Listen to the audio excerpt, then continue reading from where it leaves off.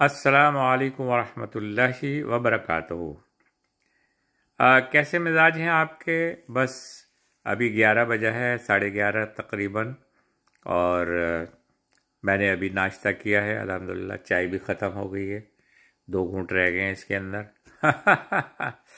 और हम लोग बखैर व आफ़ियत हैं, और आपकी खैरियत मतलूब है।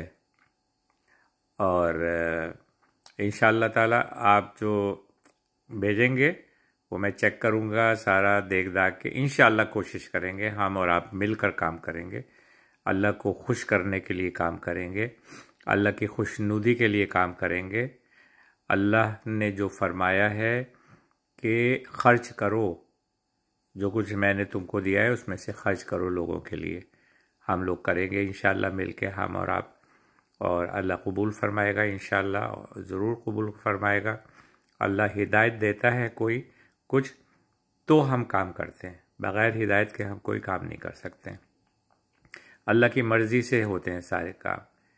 अल्हम्दुलिल्लाह एक पत्ता भी गिरता है इस दरख्त से ज़मीन के ऊपर तो अल्लाह के हुक्म से मिल, गिरता है। कुरान में है। तो अल्हम्दुलिल्लाह कोशिश करना चाहिए अच्छे अच्छे काम करने की और इन हम करेंगे कोशिश। अल्हम्दुलिल्लाह रबालमीन अर्रहमान रहीम खुदा हाफिज़ सलाम